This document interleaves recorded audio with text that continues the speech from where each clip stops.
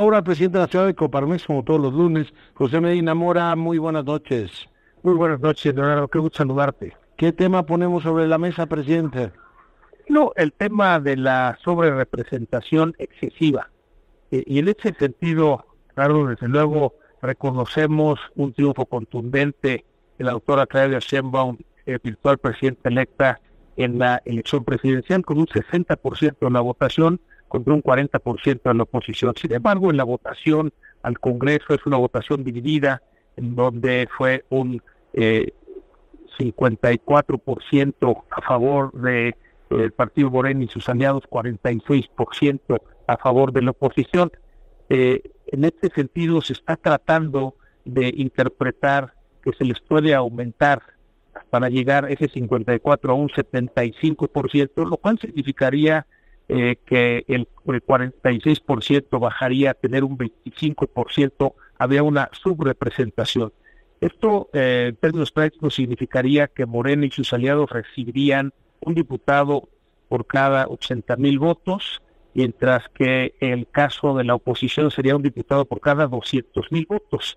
Eh, en realidad, eh, claro, lo que ganó eh, Morena y sus aliados son 210, 213 distritos, en donde lo que están tratando de hacer es pasar 90 de esos triunfos por un convenio que tienen entre partidos al Partido Verde y al Partido del Trabajo, cuando efectivamente la Constitución habla de que se respete el voto eh, por de, de, los ciudadanos por cada uno de los partidos. Anteriormente se votaba por una coalición, hoy está identificado en la boleta por eh, qué partido se votó independientemente de que sea el mismo candidato, de tal manera que a través de este trasvase de eh, triunfos es como se quiere lograr esta sobre representación excesiva y es eh, un llamado tanto al INE como al Tribunal Electoral el que se aplique la Constitución, eh, todos los artículos de la Constitución, no nada más uno solo, de tal manera que se logre eh, pues que el número de representantes de cada partido en la Cámara de Diputados sea y corresponda a lo que fue emitido en el voto el 12 de junio, eh, con eh, esta sobrerepresentación de solo un 8% por fuerza política, de tal manera que exista siempre para cualquier cambio de la Constitución la necesidad de ponerse de acuerdo en las distintas fuerzas políticas. Sí, en este caso, eh, la coalición de Morena estaría llevando 18, ¿no? Porque Morena pasaría de 43 a 49, o sea, 43 poquito más de votación a 49% de la Cámara, el PERDE pasaría de 9% al 15% de asientos en la Cámara y el PT de 5.8 a 10%, con lo cual estarían llevando eh, pues prácticamente 18 puntos de sobre representación, presidente.